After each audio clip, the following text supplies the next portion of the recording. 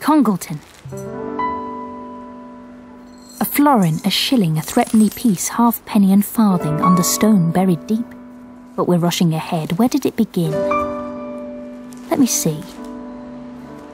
A grand competition, 1863.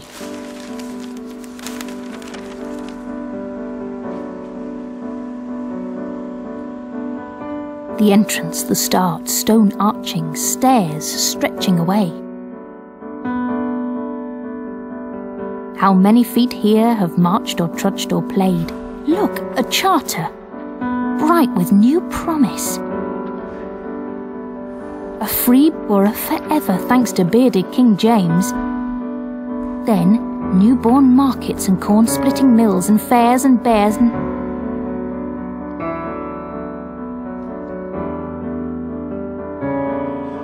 the Grand Hall. Not skirt swishing tea dance or wartime waltz, but thoroughly modern ladies who meet to chat and jive to a Latin beat. The Minstrel's Gallery. Silver maces for the sergeants of the town, then silver gilt for a Cromwellian crown, proclaiming freedom for Britain's young and old, but crowns and towns are fickle at such times. Let Charles II think he had freed the Albion Isle. The Spencer Room. Shields in every corner, and mayors looking down from seats on high. The coat of arms, with its ton and eels, the conger for congle, the barrel for ton, ever unprepared, that lion looks on.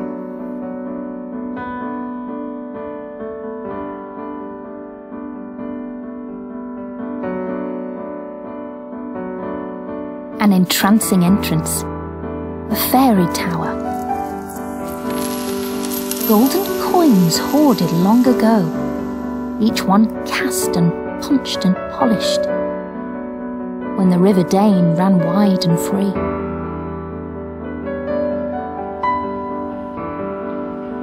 Congleton rare with its Congleton bear, not baited or swapped for a Bible today, but sat for a how d'ye do then on our way. The Bridestone Suite, all half moons and barrel sides. E.W. Godwin, who the judges decide will build a new hall for £5,000. Under his windows, round like plump footballs, trophies are lined up. Bright banners are strung. The balcony and the lion on his barrel looks on as ever, and now he sees bright silks thrown and worked first by hundreds, then thousands of hands double, twist and reel, broad silks, handkerchiefs, velvets and ribbons. For years the town shimmered like the ladies it dressed, but fashion is fickle as kings and lords, and soon the old mill was all but gone.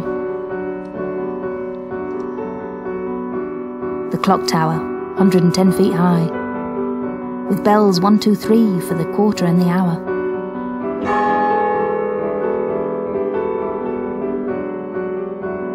It stands where the town hall has always been. Be it wattle and daub or proud pillared stone, with jury above and dungeons below. Brim full of dancing and cheers and giggles.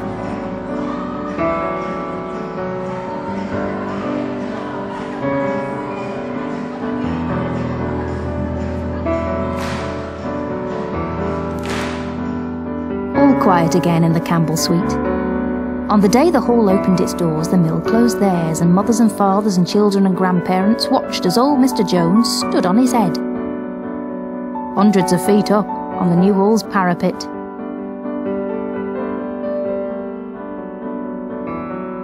No doubt they cheered as they drank their free tea, though he'd done it before at the church in Astbury.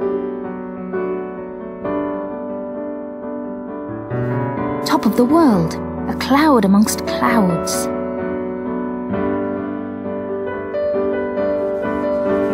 Now round, round, Macclesfield to the north, where the chimneys still stretch their necks above their mills. Then east, see the Dane wind its way up to Wincle, through quilted fields edged with forest lace. And south to Biddulph's valleys and moors, where the ancient bridestones silently wait. And west to Congleton, the corner town, where the three-clocked spire peeks up to this cloud.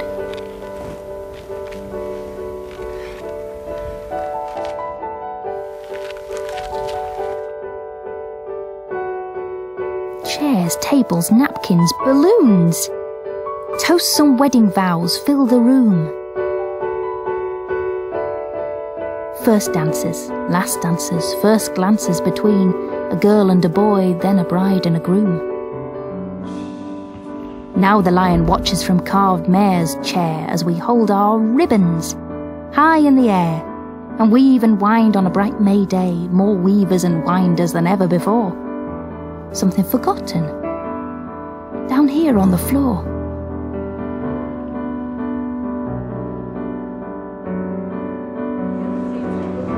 The bustle of business back where it belongs. In the heart of the hall, we nod and rub shoulders, swap notions on progress, on all that's to come. Hidden corners. Inner workings. Great halls must have their cubby holes. Hush!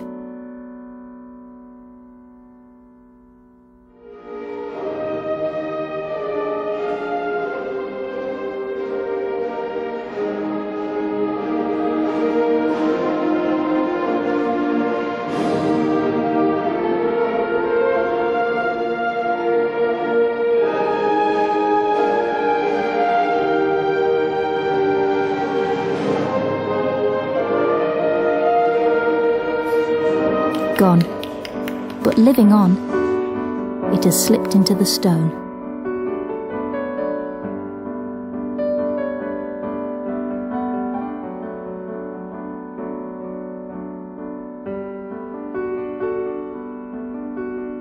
Pound notes from Congleton's Lord, eight in all, given each year since 1644.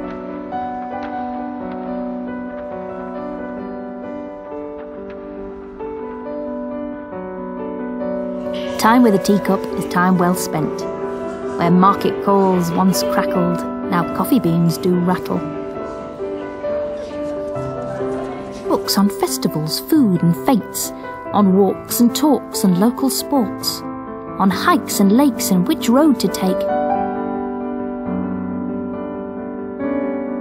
No one here but me.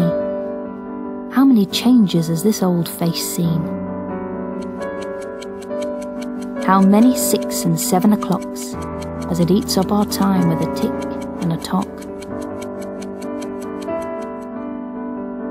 A call from below, and the sound of chains, the jostle of wigs and fur-lined collars, up the wooden hill to the light they come, to stand before the robed men one by one, be it dungeon, pillory or whipping post, or stocks or brank or cucking stool.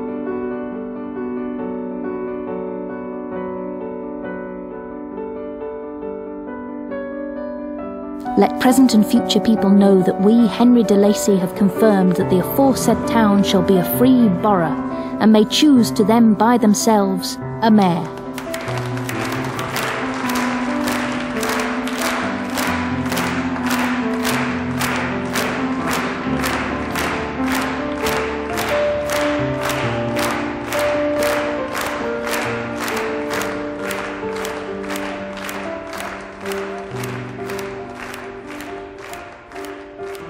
Chop and cry of the old butcher's shambles.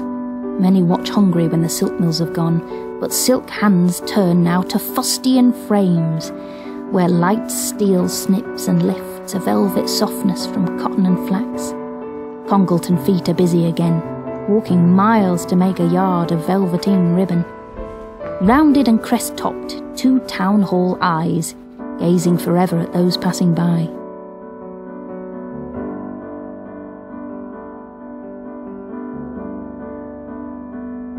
The old hall clock, cracking the days into tiny pieces, which strung back together our passing centuries.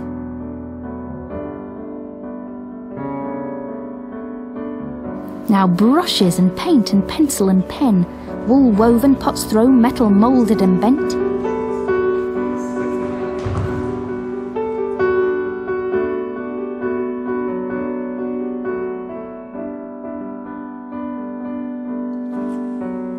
Great War has come to Congleton. The women gather here to trundle on their treadles, to thread through each blanket the memory of home.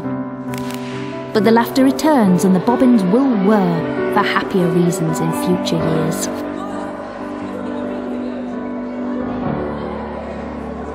The hum and blink of the hard at work office, the tip of the hat, and the screens blink back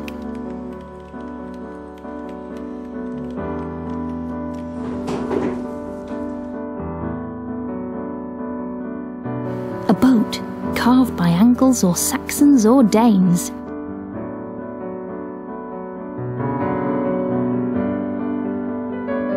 Pennies for the poor each Christmas day. Once a year, new shoes, shirts, and shifts. William and Henry and Isaac and John. Comfort for the children whose fathers are gone. Just stone and mortar and tile it may be, but under its roof, as before, we will gather to face dark clouds or blue skies at our town's heart together.